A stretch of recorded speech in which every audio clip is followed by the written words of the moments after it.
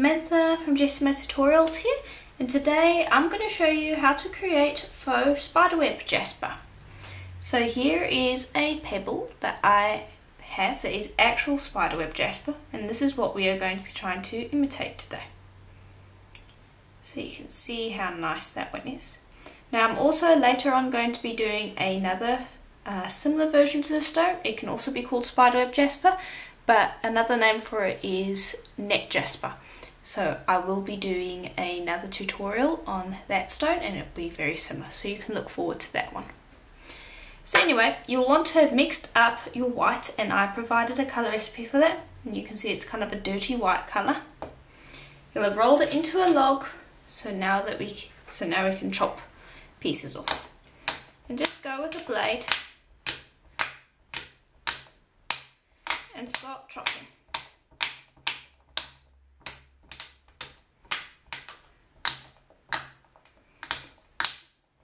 And now what I'm going to do is now that I've got it chopped just a little bit, I'm going to bring over some black mica powder. And now I do stock this on my shop, Jessama Design, so if you're interested in having a look at that, um, I will provide a link in the description. You can see here some black mica powder. Uh, black pastel will also work if you happen to have that. And I'm just putting down quite a bit. And this is going to form the veins and it's also going to act as a release agent to keep these pieces from sticking together while we continue to chop. So I'll just pick those up and I'll mix them around in this a little bit. Okay, and I'm going to continue to chop.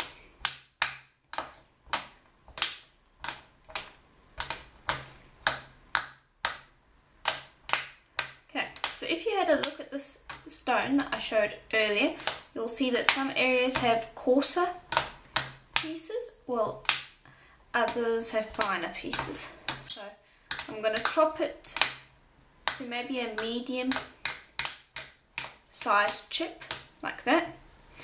Then I'm going to take a small amount of that, put that off to the side. And you'll leave that just the way it is and then you'll take the rest and you'll keep chopping this finer so that you're going to get a range of different shapes.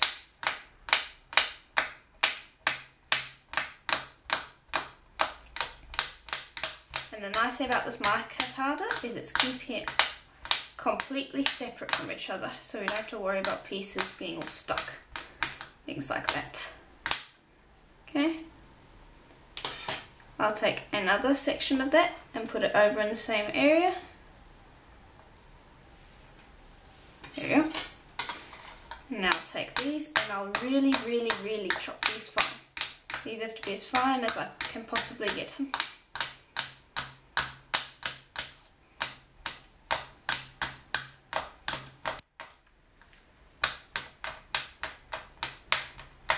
These really really fine.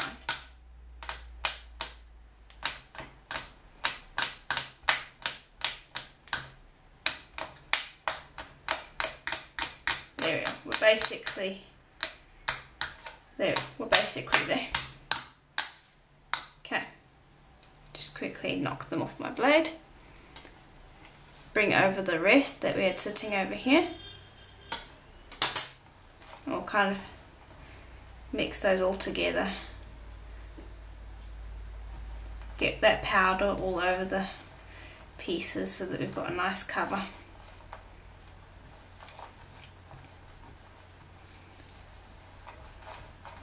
Okay there we go. Now what I want to do is I just want to look quite happy with it. And now let's see. We want to see if we they are pretty sharp um, but they're not quite, the individual pieces aren't quite as sharp as what I have here. So you'll just take it now that we have the mica powder on and we'll actually just roll it gently in our hands. And what that's going to do is it's going to just lightly dull those edges.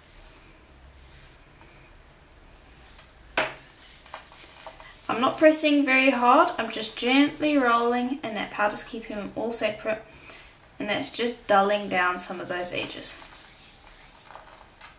There. See my hands are a complete mess, I'm going to have to clean them up in a little while. But not before we put some paint on. So I'm just going to take some basic um, black paint and it's just any any brand will work. There we go. I don't want to put too much on. And now I'm just going to use a skewer to mix this around. And a piercing pin so that I'm not getting my hands involved too much. Now you don't want to add too much paint to make this all soggy. But you want to add enough, enough that's going to coat it because the powder has acted as a helper up until now but because it's um, got non-stick properties you want to kind of get rid of that. So by adding the paint you're basically putting another cover over the over the powder. And so once this paint dries the pieces will stick together much easier. So that's quite important. You must add the paint otherwise you're going to have quite a bit of trouble later on sticking these pieces back together. And now I'm not squishing the pieces, I'm just gently rolling them around, getting all that paint into all the nooks and crannies. And then when you're done, gently pat it down so that you don't have too high a stack. All the pieces are basically just sitting off from each other. And I'll just pop the skewer off to the side. And now you can use a hairdryer or a heat gun. You, if you're a patient person, you can just leave this to dry.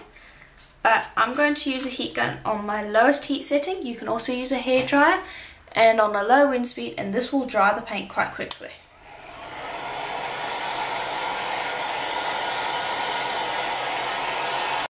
There we are. And then while the top has dried, you will need to mix it around again to get the wet parts exposed again because only the top parts that are showing will dry and so you'll just need to mix it around while you're using your heat gun. Okay, so I've cleaned up the tile and I've got these sitting over here on a separate tile. You can see they're all nice and dry. So now what we want to do is we want to create some filler for here. So you can see that we have some um, quite large black areas in this stone. So I've decided the best way to do that, I don't want to use clay because it needs to sit in like larger veins. So the best way to do that is to take some paint and I'm just, I'm almost out of this one. There we go take some paint and I'll just use my skewer to do this and I'm going to spread it around on the tile so that it forms almost like a skin. Nice thin skin. And this is where working on a ceramic tile is super helpful because you don't have to worry about it getting messy or anything because it can just get wiped off really easily. Alright, that's thin enough. Then you'll bring over your hair dryer or your heat gun again and this time you can set it onto the hottest setting you want because there's no clay to cure. So just set it on and watch it dry.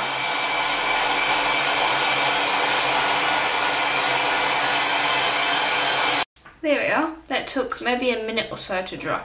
It's much quicker than waiting for it to dry.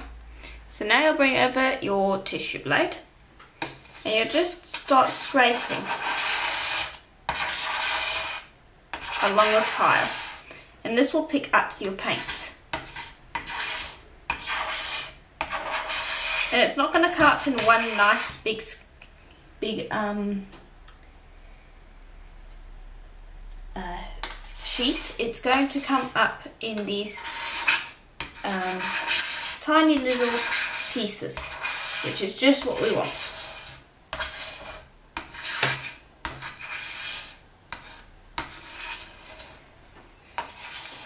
Just trying to pick up as much of this as I can.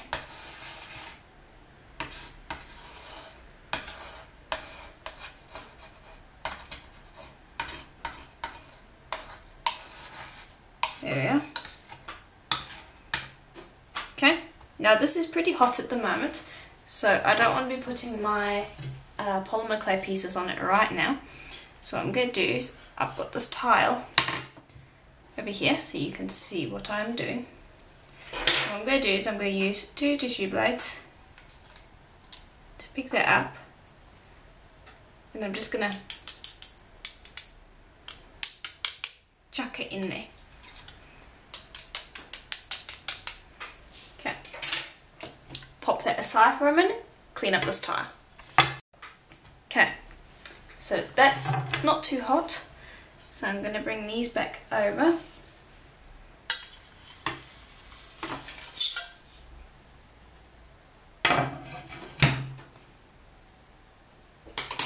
We're going to mix them around. Get all of that paint that we scraped in all in there and mixed up together. Okay. So now what you can do is you can form this into a cane and then you can take slices or you can turn it into cabochons and that is what I'm going to do right now. So we just pop these off over here and we'll bring over the cabochon molds. Okay, and the first one I'm going to start with is this one that I got from eBay. And I'm just going to grab a fair amount of those. I'm going to press this in.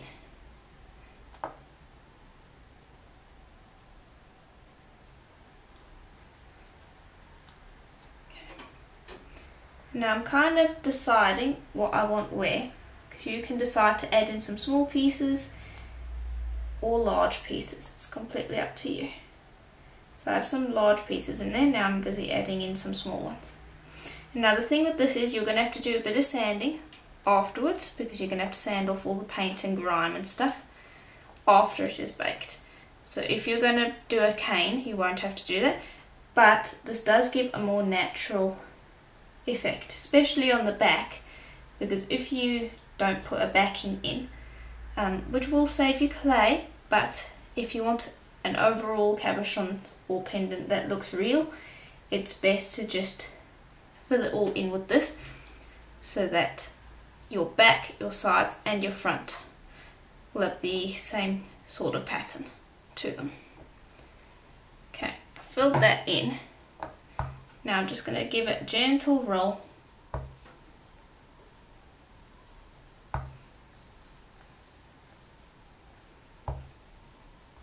you can see that's fine. Now I'll bring over my flexible tissue blade. I'll gently run it along the back here just to get rid of any raised bits so that's nice and even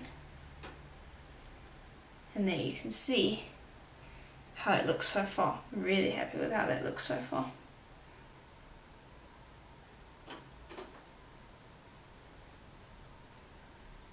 okay we got just a little bit over there and that can get sanded off later that was just to even up the back. Okay, and then that needs to go in the scrap pile.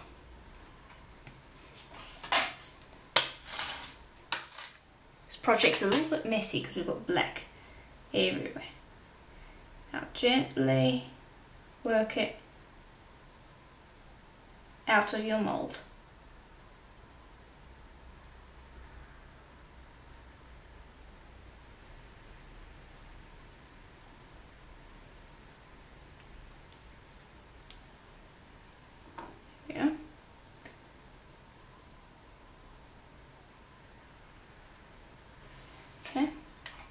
Just gonna because it's all in pieces it sometimes decides that it wants to leave these edges. You can easily get rid of those with your blade by just gently tapping against the edges. Okay and we just had a little nubbin over there that I had to get rid of. Okay. this one is ready for the oven. Pick that up and I'll go bake that at Primo's recommended temperature for a full hour. And I'm going to make some more cabochons now. Okay, so here are the pendants now that they are out of the oven. And so now what I want to do is I want to try and clean them up as much as I can before I start sanding. So I've got a wet wipe over here and I've also got 99% alcohol. And this option is entirely, um, this step is entirely optional to you. You don't have to do it. So I'll just spray a bit of alcohol. And I'm going to start rubbing. And you can see it, there's some paint coming off there.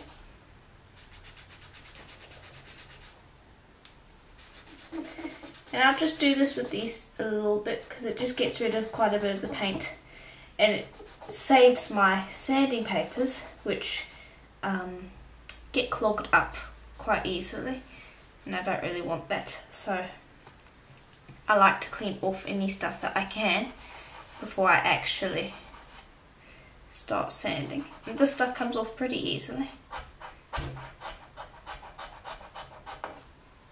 Okay, there we. So it's not going to clean it white white or anything like that. It's just going to get rid of quite a bit of that surface paint. And then I'll be able to bring in my sandpaper to clean it for the most part. Alright, so that one's okay. I'm now going to sand it. Okay, and I'm going to start with my lowest grit on my polishing papers, which is a 400. And as soon as you start sanding, you can see that that starts clearing up. But it also does clog up these papers quite a bit, so it's nice to um, clean it off a bit beforehand. I'm just going to start on the edge. You can see how nice and clean it's starting to look. And then I'll start up here.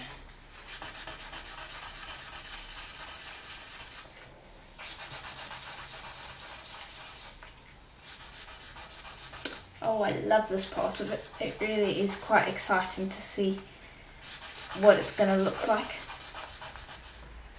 It's going to look even better later when we actually um, seal in all the stuff with some liquid clay. So just give it a good sand to get rid of all those little bits and pieces you don't want this grimy. And you can see it does clog up the papers a bit. So that's why I like to clean it beforehand. If you're using wet dry sandpaper, um, that one won't clog up as much, especially if you're sanding underwater. But that makes it very hard for me to actually capture that on camera, so I like to use these on camera. And I also like to use these as well because um, they're not as coarse, and so you don't have to sand through so many grits and you get a higher polish with them. Now don't forget to do the edges and the back because um, the back also will have a nice pattern. So I'm just going to pop that down and sand like this to kill off most of it and we'll just have a few areas left.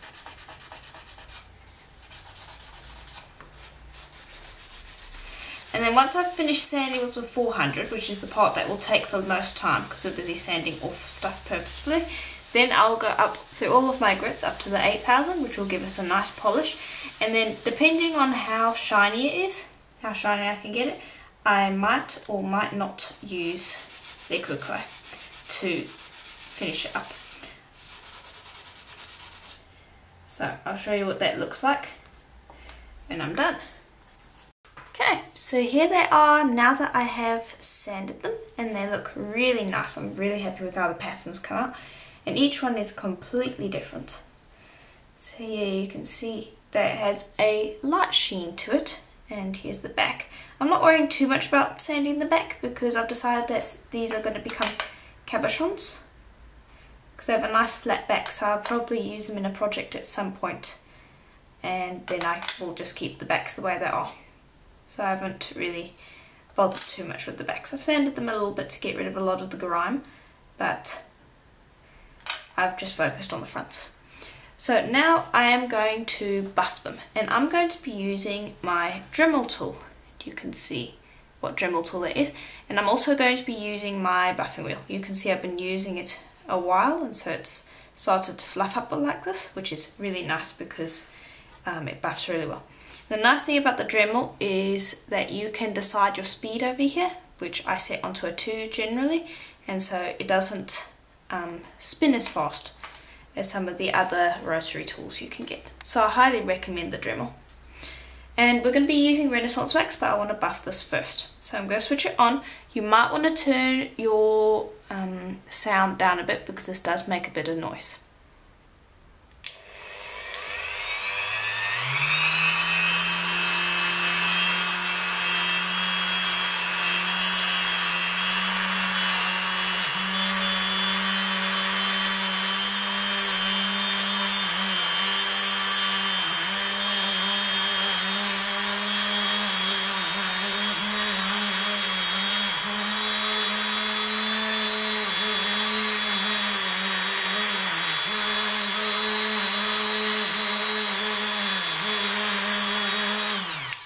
Okay, and you can see it, there's quite a difference there now compared to this one. So if you look at this one, it's got a light sheen, but this one's got a really nice shine to it. So I've decided I'm not going to be doing liquid clay on these. I'm going to keep them natural like this because the nice thing about doing it in pebble form like this, you're going to get some of the natural cracks and things that you get in the stone. So I don't want to cover that up with liquid clay. So I'm just going to bring over an old wet wipe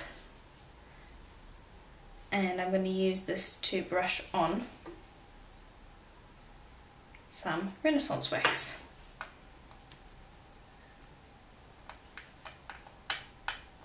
There we are. And I don't have to do that too accurately because the Dremel wheel will take care of that. Again, turn down your sound.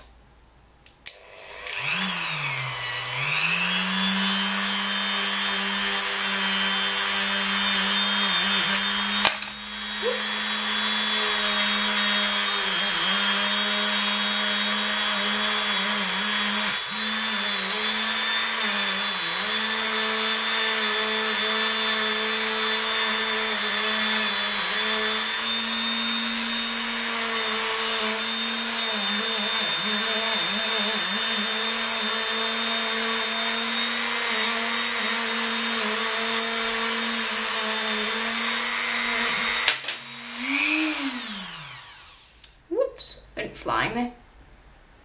Okay, eh, just got a little bit more to do.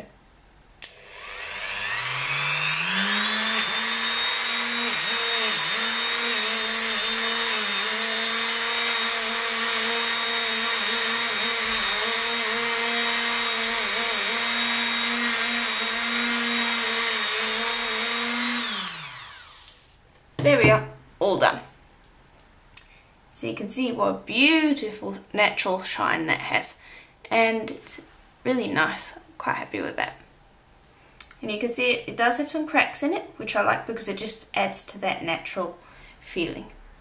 So I'm going to go and do the other ones. So you can see, oops, completely different. I'm going to go and buff these ones up and then you'll be able to see what they all look like.